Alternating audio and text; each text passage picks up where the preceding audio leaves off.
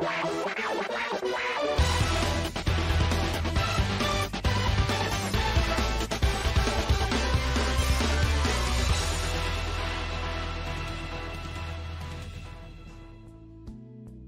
hello and welcome to another edition of the ever amazing Marriage Matters.